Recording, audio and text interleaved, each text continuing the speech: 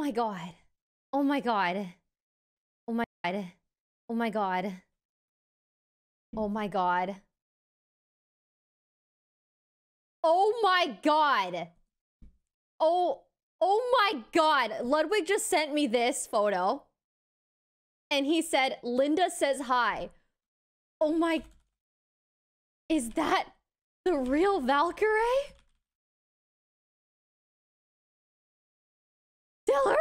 Hi and I'm so sorry. Leslie found her yesterday? Wait. I need to I need to talk to her. Please ask please ask her if Samsung asked her if she was me and she said yes. I need to know how they took the pic. I was thinking about filming a TikTok explaining this whole Samsung Val or Valkyrae bleh, this whole Samsung situation. You know what I mean? Because I feel like I've never had something go this crazy before in my life. This the post I posted on Twitter has 246,000 likes.